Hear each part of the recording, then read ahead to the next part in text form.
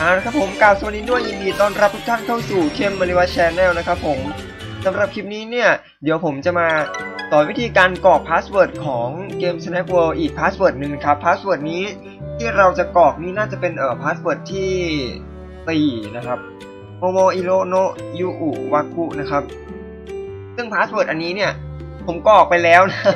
แล้วก็จำไม่ได้แล้วว่าไปอัดไว้ที่คลิปไหน ทีนี้ เออมันมันมันคงปนๆกันอยู่ใน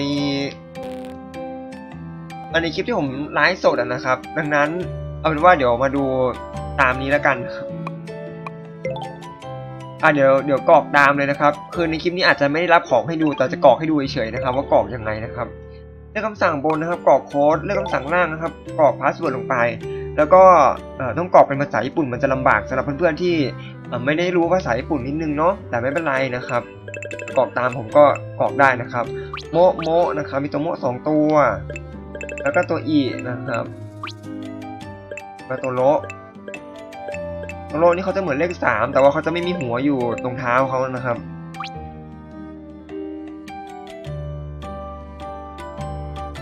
แล้วก็ตัวโนนะโอ้ตัวโนเหมือนดอเด็กไม่มีหัวเลยนะเนี่ย ยุอุวาคุครับตัวยุนี่ยุแล้วก็อุแล้วก็วะ แล้วก็คุอย่างนี้ครับผมแล้วก็กดตกลงนะครับ กดแคทเทโดยการเอ่อกดปุ่มบวกที่จอยของเพื่อนๆ หรือไม่ก็เลื่อนมากด กดแคทเตก็ได้นะยืนยันในพาสเวิร์ดนี้ได้ถูกกรอกไปแล้วนะครับ แต่ว่าเพื่อนๆ ถ้ายังไม่เคยกรอกเนี่ยมันก็จะให้รางวัลเพื่อนๆ ทันทีเลยครับ เป็นหินของแบรนด์เพฟานี่นะครับ เอาไป craft ชุดแบรนด์เพฟานี่นะครับสำหรับหินที่ว่านี้ก็จะอยู่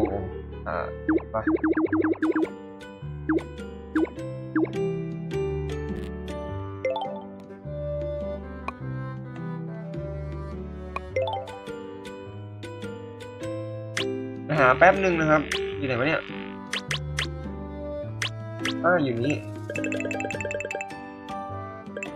มันจะหน้าตาเอ่อสีชมพูชมพูอะสีลูกท้อลูกพีชน่ะอันนี้ไงล่ะเนี่ยนะครับสามารถที่จะเอาไปดีไซน์แบรนด์เพฟานี่ได้เอาไปอัปเกรดของแบรนด์เพฟานี่หรือไม่ก็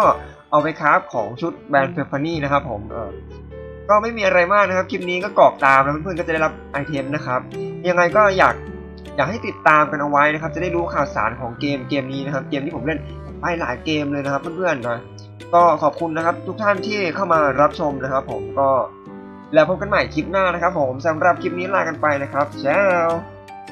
โอ้ถ้าใครมีอะไรคำถามที่เกี่ยวกับเกมนี้ก็ทิ้งเอาไว้ใต้คอมเมนต์เนอร์ครับเอาสบายครับ